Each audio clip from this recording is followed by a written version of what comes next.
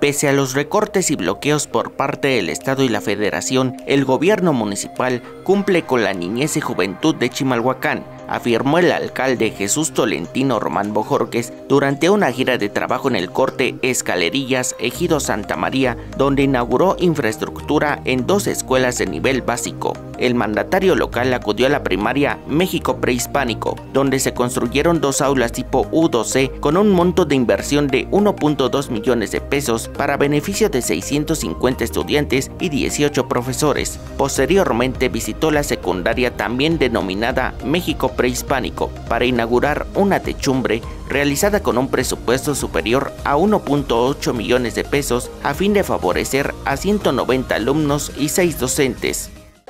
Celebro también junto con ustedes esta magnífica obra. Contribuirá a brindar las mejores condiciones, sobre todo en materia de educación física, sobre todo en el uso del patio sin la inclemencia del sol y de otros fenómenos meteorológicos.